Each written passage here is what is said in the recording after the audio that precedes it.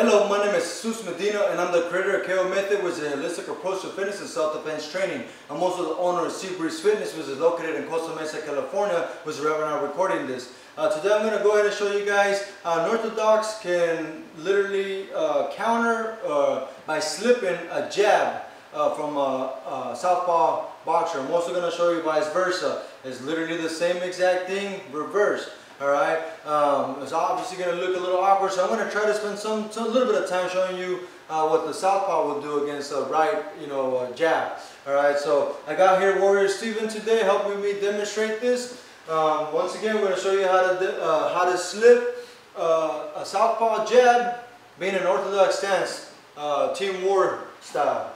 So the first thing we're going to do is obviously uh, um, designate the stances. So uh, um, he's uh, orthodox and I'm the southpaw. So that means his left foot, his left foot is going to be the one that's leading. Uh, my right foot is going to be that lead, is going to be leading. Now there's a there's a little compromise on both our stances right now because we're both on each other's way. If, if I was a righty, it's easier. We can fit inside each other easily, a lot easier. Right? I can get close to him and still keep my distance here, right? kind of like how uh, Mayweather does. Uh, but if it's a southpaw, all right, it's hard for me to come in. All right, if I come in wrong, all right, show what you can do. All right, once again, go this way. All right, if I go into inside his stance, all right, boom, he can easily just shift his leg in and it makes my knee buckle. So that's why I, both ends, not just southpaw, but uh, orthodox as well, want to step out. All right, right here, especially as a southpaw, you have a better control. Obviously, vice versa uh, Orthodox has better control. If your lead foot is outside your opponent's Orthodox uh, southpaw's uh, lead foot, foot, that way you can take control of it. All right. Um, so what we're gonna do is the first thing you're gonna do is slip the jab. All right. So let's go this way. So if I'm the southpaw, all right, I'm gonna throw the jab. All he needs to do is step out and towards me a little bit, uh, um, uh, just to just to slip the jab on this one. So out and in towards me a little bit. So he's going to slip the jab, go ahead, boom. And notice how he threw his right shoulder in. You're going to say, why would you do that? Well, right here, when he cuts back to go back up to position of power, he can throw a hook, go back again down. He can throw an uppercut. Boom. As he's going back out. Because he threw that shoulder in, he has to go back anyways to get back to position of power. All right, let's show him from the side. Again, so slip that shoulder, bam, wham, out. Again, throw the hook, alright? So that's why you throw that shoulder in. Basically like you're trying to hit him with your shoulder, alright? Um, you go towards the side the punch came. So that's the first thing. So that's what we're going to drill, alright? So we already drilled it. So all it is is he's stepping out first. At the same time though, simultaneously he's going to bring that shoulder in as well. Crunch in towards the side, he's stepping too. So crunch in to the side and that's it. Alright, so let's go ahead. Um, so what you want to do is, um, you can make a straight line, alright? There's a straight line here. I don't know if you can see. You can see it on that one most slightly. All right, there's a little line right there. Anyhow, so we, what we would do is you stand on that side. You, you make your uh, uh, student stand on one side, you stand on the other, and you're just going to follow, all right, that line. All right, so if it was right here, right, there's a little line right here, you're just going straight to the side.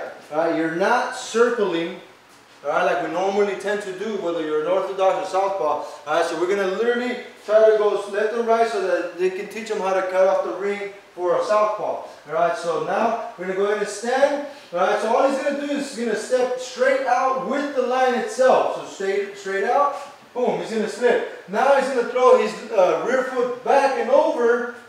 Alright, now he's positioned pow uh, powerfully.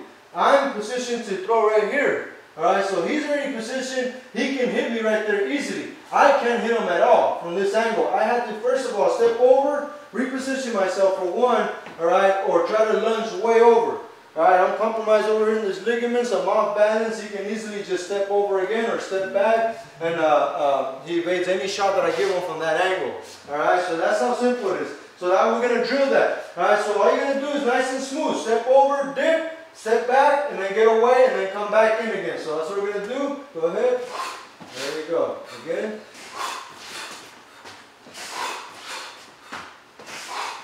Alright, one more time. Alright, here we go. There we go. I beat you to the inside. Outside, I mean.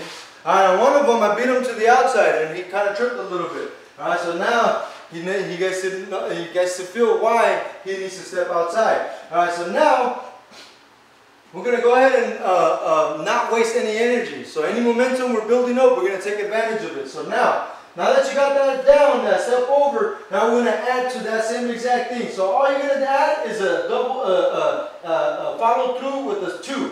All right, so go ahead and come over slow. So you're gonna come over and come over in case I try to swing, and then right there, just load up, boom. All right, so as soon as you land, let's go sideways. All right, so he's gonna slip them the jab. All right, he's gonna come over and then so they're straight. All right, so uh, you, you didn't go far enough. Go a little further. Boom, throw, and then right here. So see right here, I'm off balance. Before I even come over to try to attack him, he's already loaded up to fire up, and he's loaded up right where he's at. He's in range. I am not in range. I gotta step in for one and then come over before I can barely even reach him. By the time I do all that, he's already loading up to hit me. Anyways, let's do it again. Here we go. And look. So as soon as he lands, you know, that's when he wants to lunge forward. You want to use that momentum, use that plow, uh, of plyometrics. Let's go ahead and do it one more time.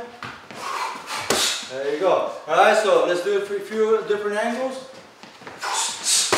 All right, so notice you're, you're forgetting to step over.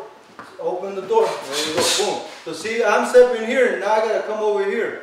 Again, way off, way off balance for one. All right, I can't hit any power from this side, not even with this jab. This is not gonna do anything. Is gonna open myself up. Now he can attack me even more. So I, again, I gotta step over and punch over, or come out of the way. But your instinct is gonna be to try to get that moving target, hit it before you move away. By that time, he's already uh, uh, countering you. One last time from this side. All right, so back.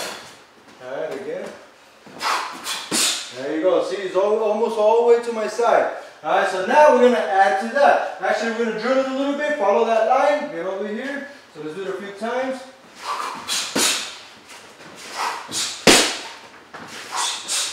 Take a little too long. Don't wait for it. Remember, that's only for the drill part. Now, as soon as you yeah.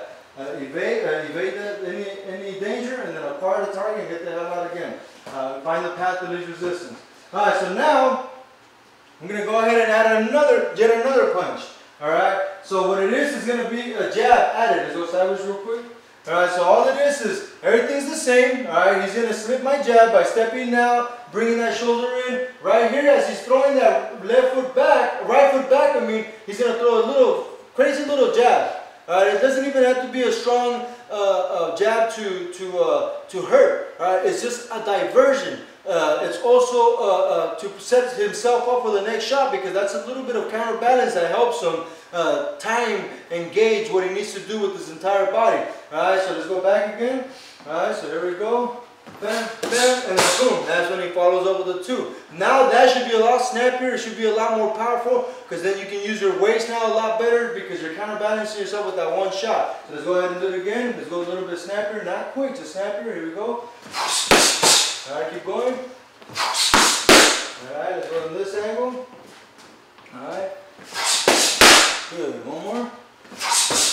Alright, pay attention to his feet. Alright, you might not be able to see in this one, but I'm going to show you one more angle that you're going to be able to see it. Forget about the punching. It looks nice, yes, but don't pay attention to that. Pay attention to what's going on with his feet and his shoulders, alright? Here we go.